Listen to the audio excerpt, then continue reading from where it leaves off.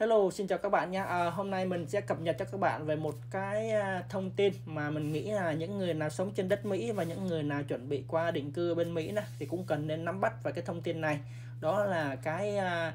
luật mà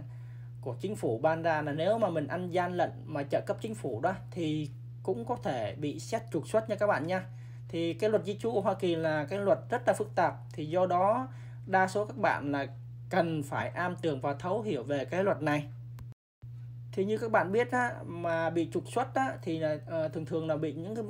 tội như là tội phạm hình sự này rồi uh, tội mà sống ở đây bất hợp pháp nè thì đều bị sở di trú ờ, uh, USCIS bị uh, trục xuất. Nhưng mà bây giờ nếu mà mình gian lận mà trợ cấp chính phủ đó uh, thì cái tội này cũng có thể bị xét trục xuất nha các bạn nha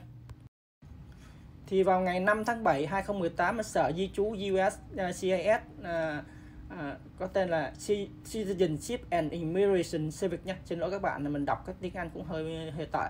Thì đã ban hành hướng dẫn cập nhật cho nhân viên của Sở Di trú USCIS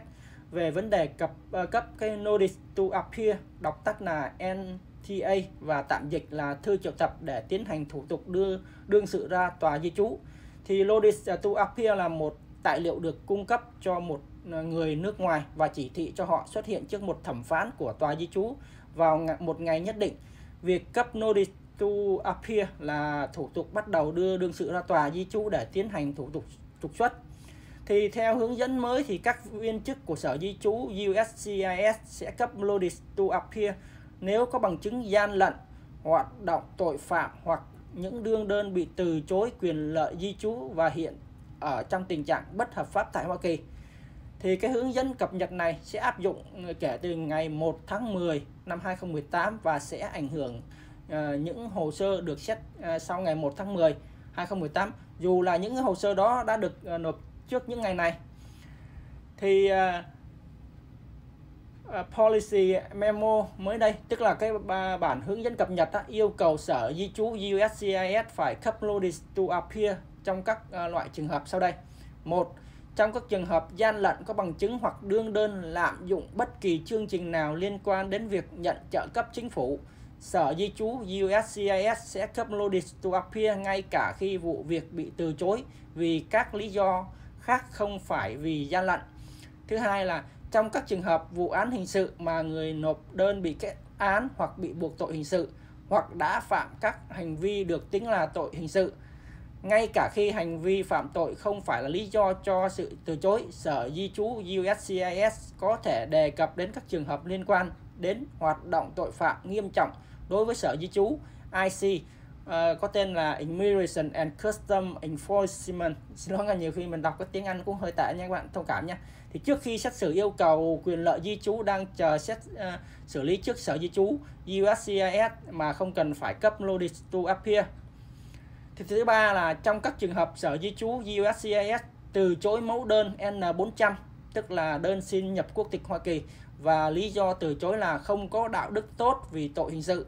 Thứ tư là trong các trường hợp hồ sơ của đương đơn bị từ chối và đương đơn đang ở trong tình trạng bất hợp pháp ở Hoa Kỳ, như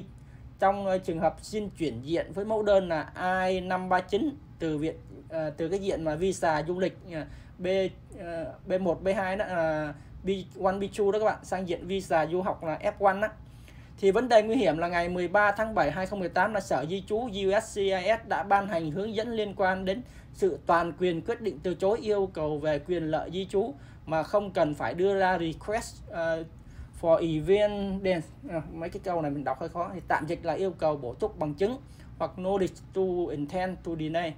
Tạm dịch là thông báo ý định từ chối. Thì Chiếu theo những hướng dẫn của ngày 13 tháng 7, nếu đương đơn không nộp đủ những giấy tờ cần thiết về mẫu đơn I-539 để xin chuyển từ diện visa du lịch sang diện visa du hoặc à, du học hoặc mẫu đơn I-485 để xin thay đổi tình trạng di trú sang thành thường trú nhân, hồ sơ xin chuyển diện sẽ bị từ chối mà không được cơ hội để bổ túc. Nếu lúc à, đơn bị, bị từ chối mà đương đơn ở trong tình trạng bất hợp pháp thì sở di trú USCIS sẽ cấp notice to appear cho đương đơn để triệu tập đương đơn ra tòa, di trú để tiến hành thủ tục trục xuất. Thì đó là một số thông tin mình ờ, đưa ra ờ, cho các bạn là những người nào mà đang có thẻ xanh và những người nào đang ăn ờ, tiền trợ cấp mà gian lận đó thì cũng cần lưu ý khi các bạn mà muốn nộp hồ sơ mà để mà uh, xin uh, nhập quốc tịch đó thì cũng lên kỹ lưỡng ờ, đọc cái hồ sơ của mình trước uh, rồi hãng uh, uh, nộp hồ sơ cho sở di trú nha để tránh cái việc mà bị đưa ra tòa ra tòa di trú và nó sẽ bị mình sẽ bị trục xuất nha các bạn nha. Thì